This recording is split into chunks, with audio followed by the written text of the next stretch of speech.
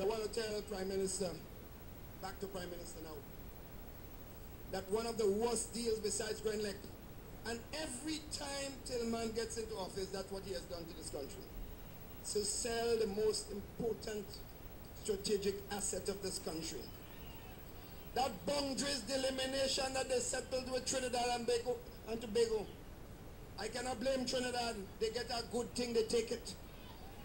That was one of the worst deals ever consumed by any politician in Grenada, Carriacou, and Petite Martinique throughout the entire adult suffrage of this land.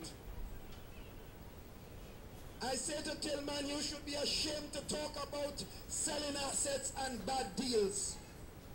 And what the bad deals he talking about in NNP? The freehold to Grand Beach to bring Lewis Hamilton here.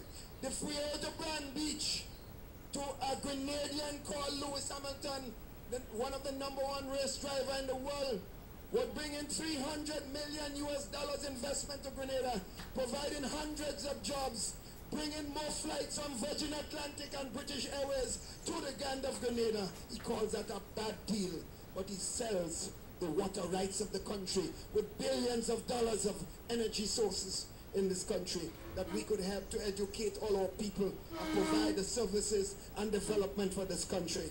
So when the man talking about bad deals, tell him, Tilly, talk about Grenlec.